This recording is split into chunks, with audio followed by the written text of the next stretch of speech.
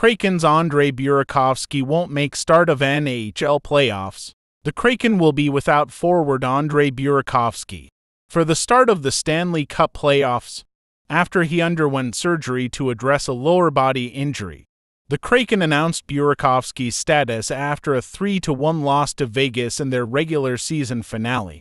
Thursday night, Burakovsky has not played since February 7th against New Jersey, when he was injured on his first shift in Seattle's first game after the All Star break. Burakovsky was expected to return in March, but experienced a pair of setbacks in his recovery.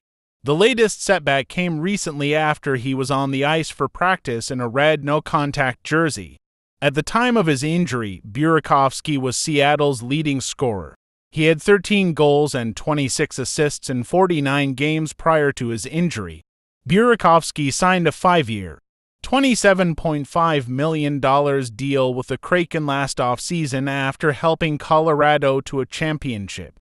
Seattle will open the playoffs next week against either Dallas or Colorado, depending on the outcome of Friday's game between the Avalanche and Predators in Nashville.